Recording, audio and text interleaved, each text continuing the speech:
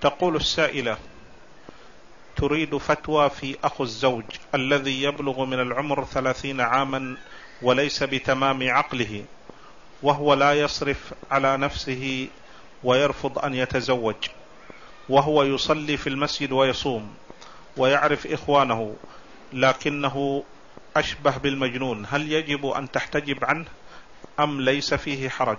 نعم يجب الاحتجاب. يجب الاحتجاب عنه.